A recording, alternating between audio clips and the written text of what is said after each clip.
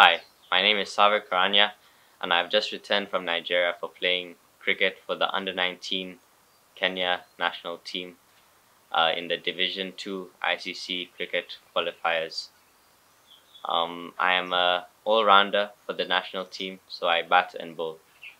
Our first game for the tournament was against Malawi, and we had a comprehensive win. We beat them by about 280 runs.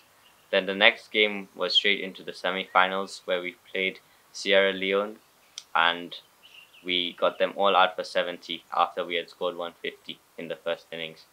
In the finals, we played Nigeria. It was a tough game where it's low scoring, where we batted first and only scored 90. Um, I thought that would not be enough to win, but in the end, our bowlers performed extremely well and we got them all out for 79. So we won that game and we won the whole tournament. My experience at the tournament was interesting as before going to Nigeria, I had to put in a lot of work here at Peponi, which allowed me to build my confidence and build my skills for me to perform at that world stage in Nigeria.